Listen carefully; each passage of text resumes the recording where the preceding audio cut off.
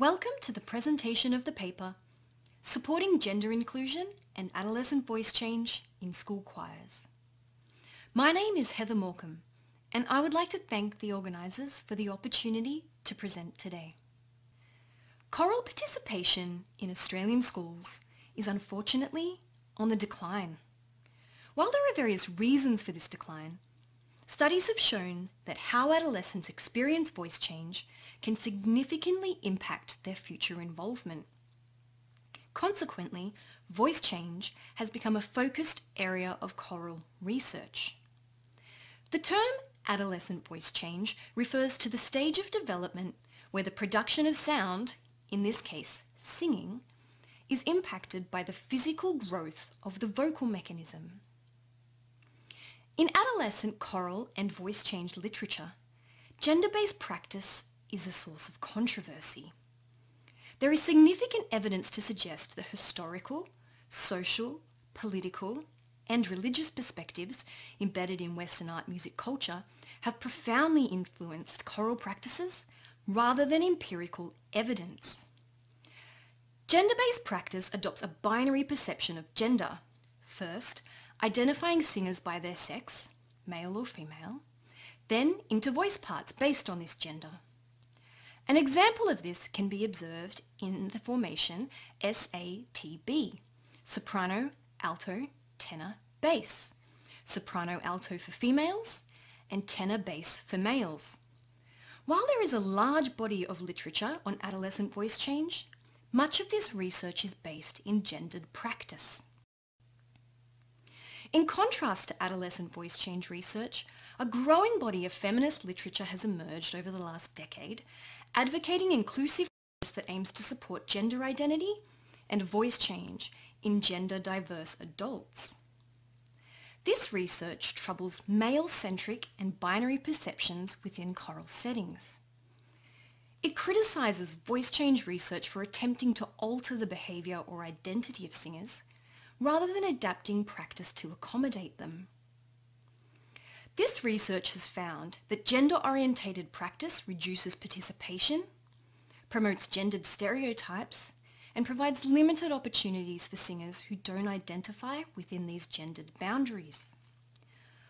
Although research has been conducted on gender-inclusive teaching strategies that support adults, there are gaps in the research that apply gender-inclusive practice and teaching strategies to support adolescent voice change. Research has identified that due to recent discourse, issues such as gender diversity, gender identity, and gendered stereotypes are becoming more prominent in schools.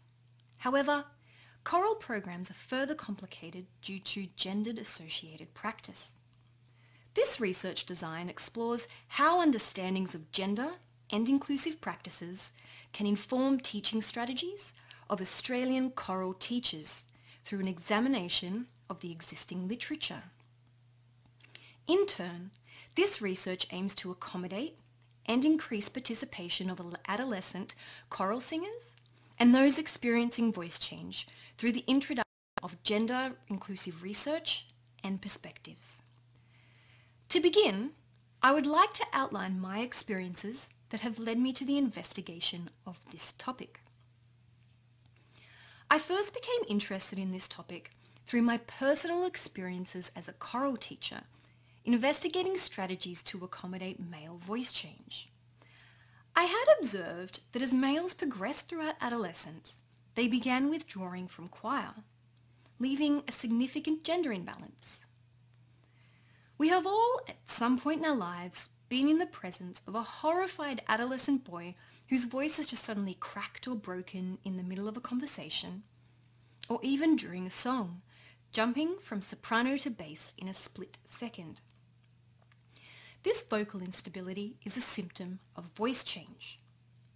Due to this audible impact on the singing voice, a large body of literature has been developed over the last century concerning male adolescent voice change.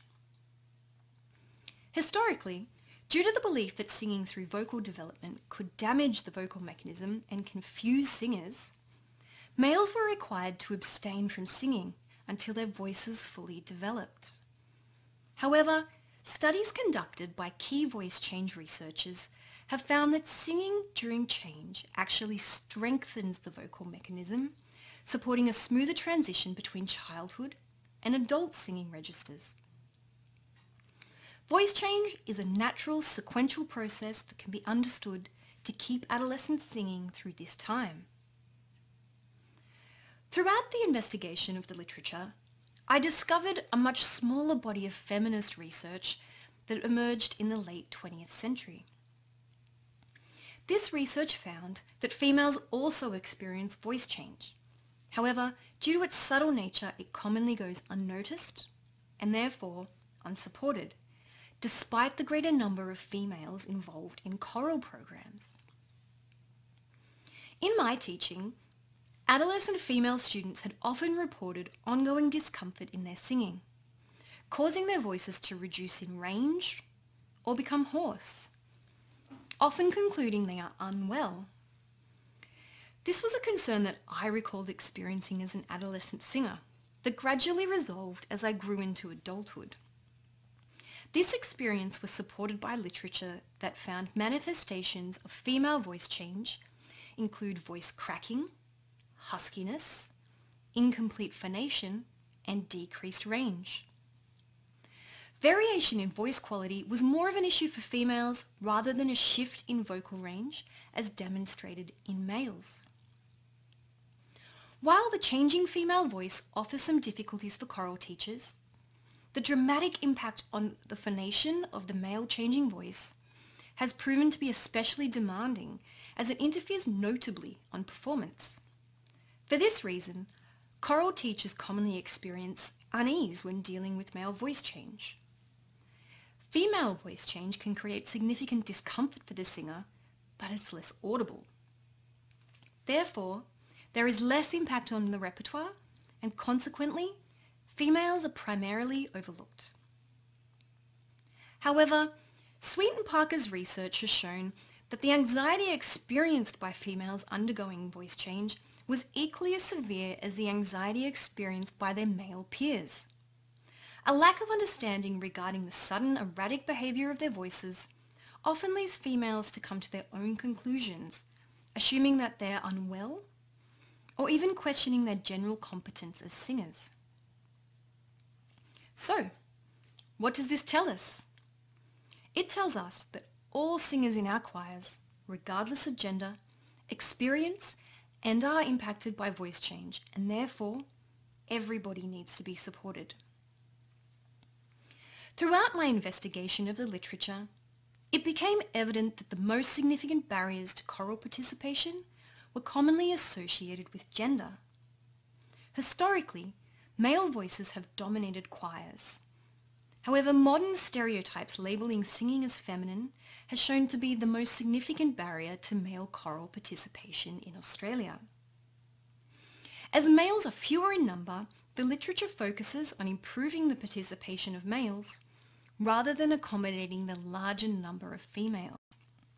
Research by O'Toole found choral teachers also direct more attention to males in a choral setting as they're likely to have fewer peers supporting their voice part. Practice that only catered to male voice change was identified as harmful to females as they often remain unsupported. Gendered formations such as SATB that are suited to adult voices were found to not reflect the vocal range or changing voices of adolescents. In 2017, an Australian study examining the vocal development of adolescents reported 16 different vocal development stages across males and females. The singer's vocal range proved to be consistently lower than those recorded in the United States and the United Kingdom. In addition, this research demonstrated a variety of ages in each vocal development stage, suggesting that age is not an indicator of voice type. No females could be identified as soprano or alto, and all demonstrated a comparable range and quality across both voice types. There were no males in this study who fit the adult criteria of tenor. This research suggests that the adolescent choir is a unique ensemble and should be treated as such. Formations such as SATB reinforce gendered stereotypes, further excluding students who do not identify within these boundaries. This is further complicated with adolescents as they are precariously negotiating identity development. These findings were significant as I began to challenge the notion of gender in my teaching practice and how, as a person who identifies as female, I contribute to the discourse that enforces gender binaries in the classroom. As a choral teacher, I wanted to ensure my teaching strategies were inclusive beyond the boundaries of gender. I found a growing body of feminist literature advocating inclusive practice to support gender identity and voice change in adults. These theorists have researched teaching strategies that aim to accommodate gender identity of um, adult transgender singers and those undergoing hormone replacement therapy.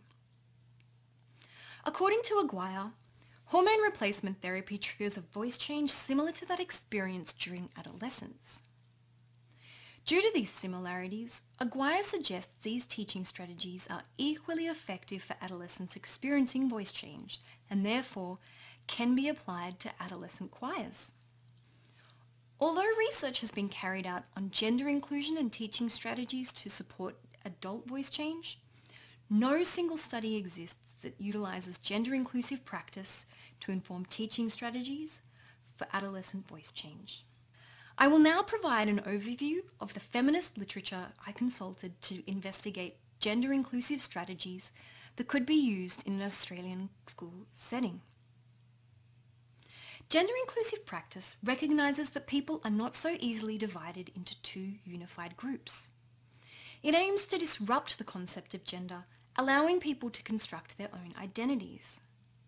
Conversely, binary perceptions of gender assume that sex dictates gender identity, which feminism criticizes for creating an asymmetric power balance by placing labels and stereotypes on singers that may conflict with their identities.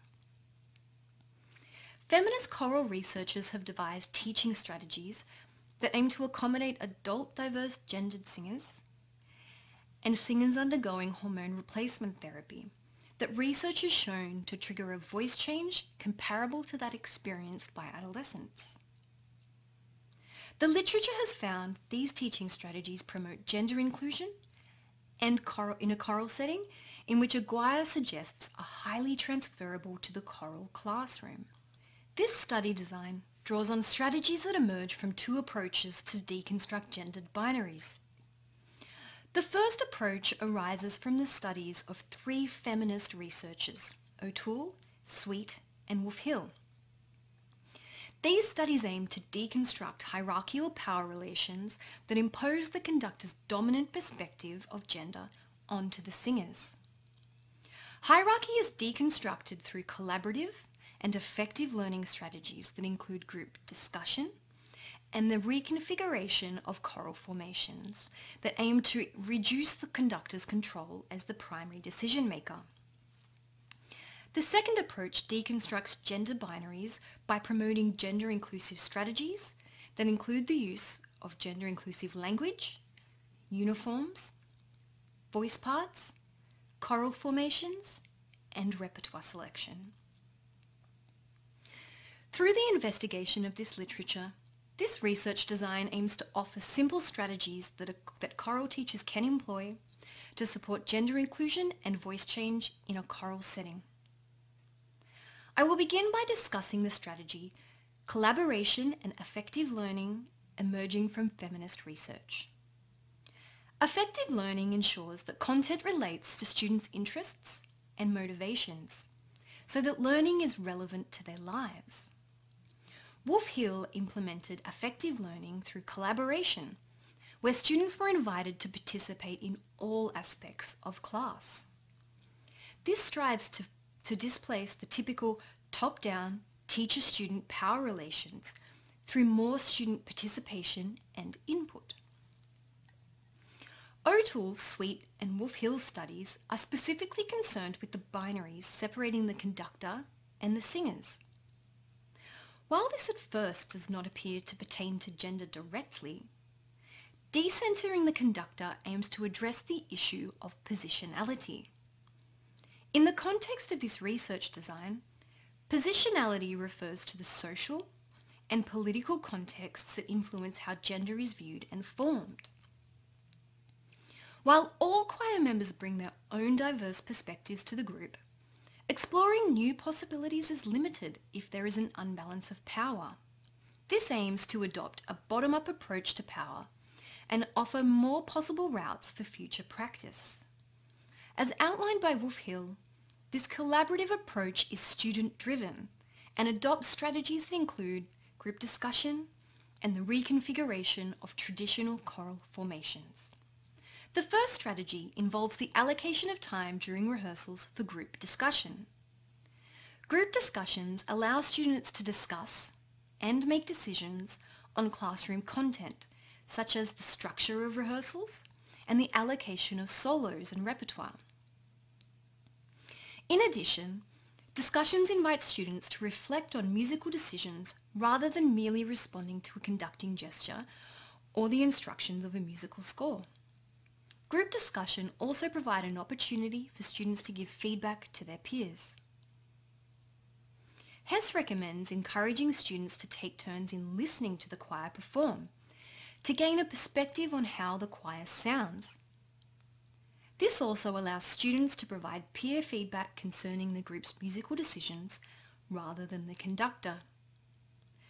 Group discussions provide an opportunity to discuss issues related to voice change, allowing students to explore and discuss the impact of voice change on their singing. Research conducted by Freer found adolescents who understood voice change, who, who understood voice change to be a natural and sequential process that impacts all adolescents, are less likely to draw negative conclusions about their vocal abilities and more likely to continue to sing than those who lacked this knowledge. The second strategy emerging from this research is reconfiguring choral formations to physically displace the conductor. Choirs in the Western art music tradition typically place the conductor in front of the singers, who are then organised into voice parts. Wolf Hill suggests that the central location of the conductor separate from the rest of the choir physically reaffirms their hierarchical status in relation to the other choir members. O'Toole argues that the displacement of the conductor works to not only physically but metaphorically decenter them. These researchers recommend different formations emerging from their studies, including circular formations that resemble drum circles or moving around the room while singing. Rehearsing in spaces beyond the usual rehearsal rooms such as the playground or a sports centre allow the choir to experiment with different formations that may otherwise go unexplored. Navigating formations outside of a typical setting reduces the risk of falling into routine formations. Group discussions and working in small groups also provided opportunities to, to disrupt the traditional choral formations. An example of these collaborative strategies in practice can be drawn on O'Toole's study. In collaboration with the choral conductor, these students created a lesson plan based on their musical interests. The lesson began with students grouped in voice parts to learn a piece orally from a recording. The conductor was on hand to isolate parts on the piano if the students required it. With students taking turns leading the choir, they then rehearsed as a group, gradually incorporating each voice part.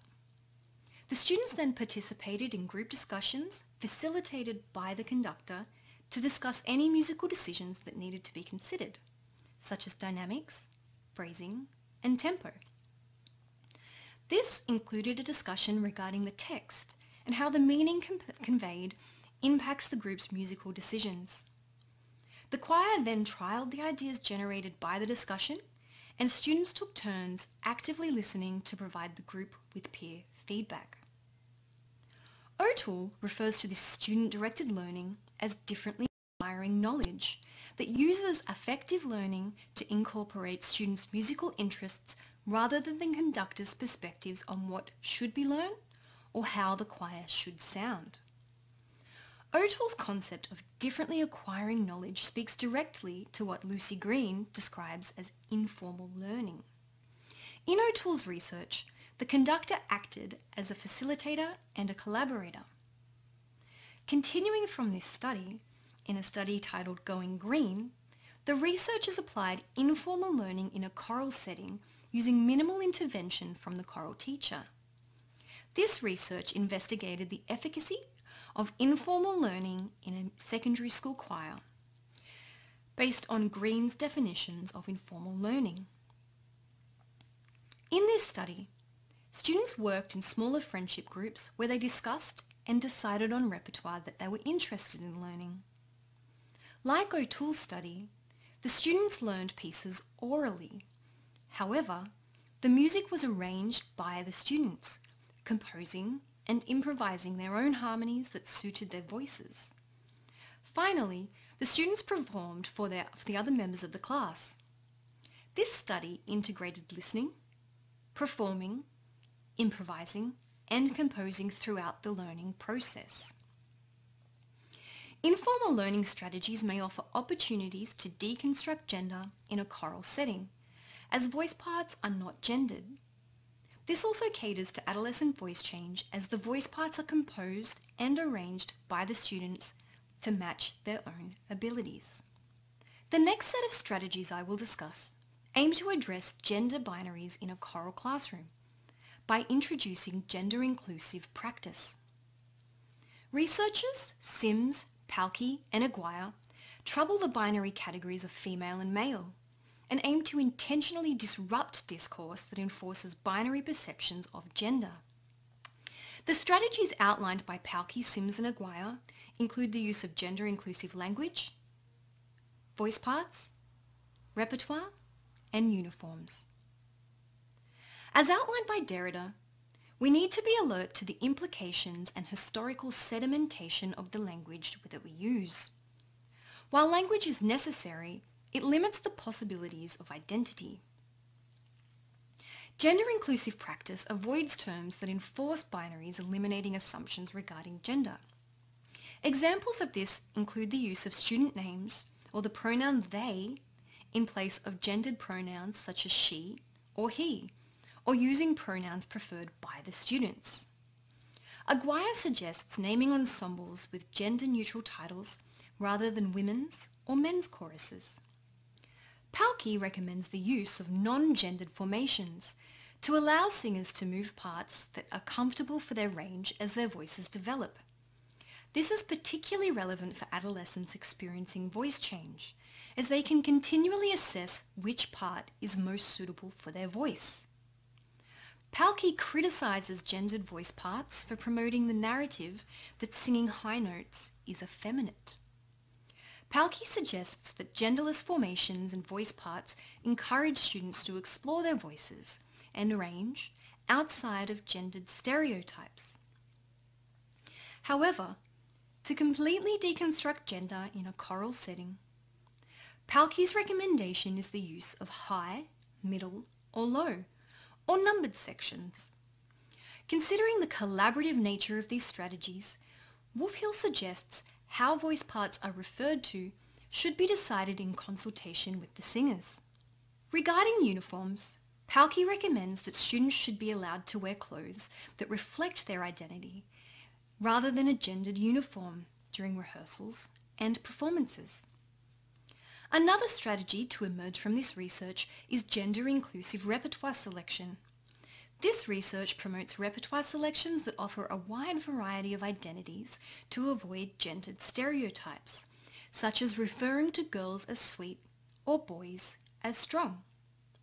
Palkki suggests that conductors should study texts carefully to identify binaries that reinforce stereotypes. Much of the literature addressing the issue of missing males in choral settings often suggests selecting masculine repertoire such as barbershop quartets and sporting songs to appeal to males.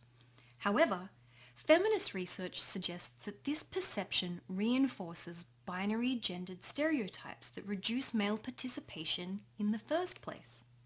In turn, this forces the stereotype of femininity onto females leaving no space for those who identify outside of these binaries, yet again focusing attention on males. Palkki recommends a selection of repertoire that models a spectrum of identity. Bond suggests that repertoire from diverse musical traditions can provide multiple perspectives of gender and increase student awareness not only regarding their own identity, but the identities of their peers. Sim suggests that providing opportunities for students to discuss and select their own repertoire allows students to choose music that reflects their identities. Encouraging students to decide on repertoire connects their home and school experiences, making learning more relevant to their daily lives while simultaneously introducing them to the perspectives of others. Aguirre suggests that initiating discussions regarding gendered stereotypes and binaries in choral texts will encourage students to consider the implications of texts on their perceptions of gender and their own identity. According to Aguirre, Sims and Palkki, repertoire selection for singers experiencing voice change must consider their limited ability to negotiate rapid pitches, rhythms and dynamics during voice change. Repertoire positioned in the lower vocal range that moves in a descending motion will strengthen the muscles of students who are experiencing unease in their sound production. Choral teachers may further ease students' discomfort by transposing and composing parts for the students who cannot do so themselves, or allowing students to sing in a comfortable octave. This study will occur in a co-educational secondary school, as this research concerns adolescents aged around 11 to 18 years of age. This is also the age group where voice change is most prevalent. As a participant researcher, I will act as the choir leader and the participants will be school-age students recruited within the school. A participant researcher is fully immersed as a participant but uses their position to conduct the research. The study design employs participatory action research, or PAR, to investigate the teaching strategies identified in the literature. Participatory action research refers to action-orientated research, which places participants as equal partners in the research process. By inviting adolescent choral participants to become co-researchers, PAR aims to bring about social change by generating practical knowledge. Action takes place through the application and monitoring of the identified strategies in a choral setting.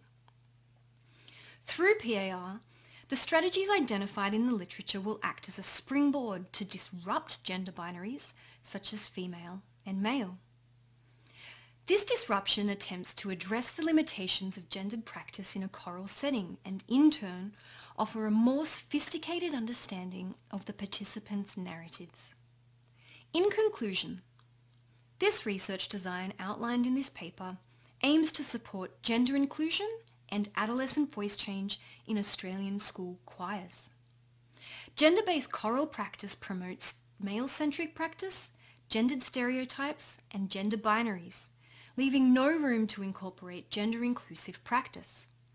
Conversely, Feminist literature employs a range of strategies to deconstruct hierarchy and binaries to support gender inclusion and voice change.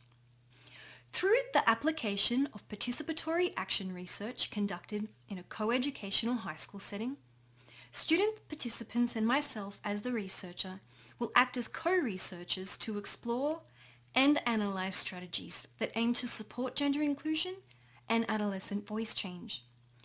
By removing socially constructed gendered binaries, this research aims to identify alternative discourses through gender-inclusive strategies in a choral setting. This aims to make a small contribution to the gap the, in the literature regarding strategies that choral teachers can employ to support gender inclusion and voice change in adolescent choirs. Due to the success of these strategies in, in adult choral settings, as suggested by Aguirre that these strategies are likely to be successful in a choral classroom. Through these gender-inclusive strategies, choral teachers can challenge gender binaries in a choral setting to promote gender inclusion to support all students. Thank you for listening, and here is a list of my references.